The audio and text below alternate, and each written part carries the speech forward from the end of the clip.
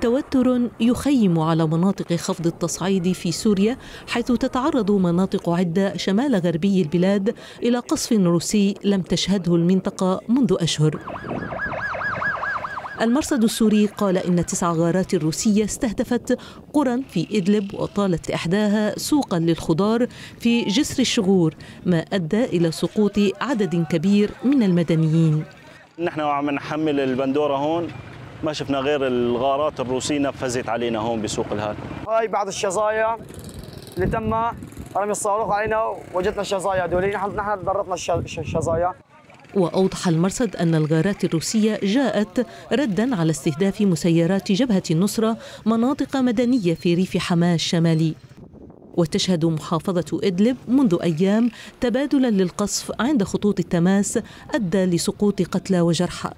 فيما قضى جندي روسي في قصف صاروخي شمال محافظة حلب. ولفت المرصد إلى أن الهجمات الروسية زادت وتيرتها منذ ديسمبر الماضي لا سيما بعد مقتل مسؤول عسكري روسي رفيع في هجوم بمسيرة في ريف حماه الشمالي في مايو الماضي. وتسيطر جبهة النصرة على نحو ثلث مساحة إدلب ومناطق محدودة محاذية من محافظات حماة وحلب واللاذقية.